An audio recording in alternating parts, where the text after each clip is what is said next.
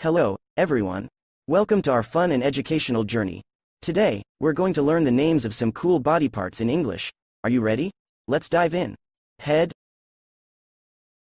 neck, chest, back, upper limb, lower limb.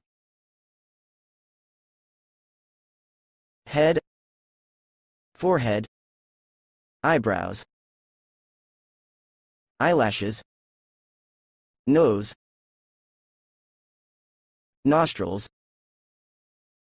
mouth, lips, teeth, tongue, ears, earlobes, cheeks, neck, upper limb, shoulder, arm, elbow,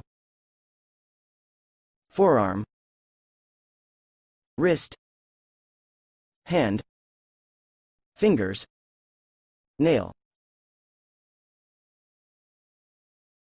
chest, abdomen, back.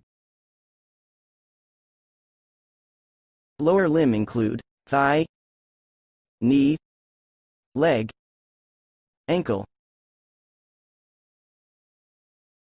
foot, toenail. Don't forget to like, subscribe and share. Learning with Ahmad.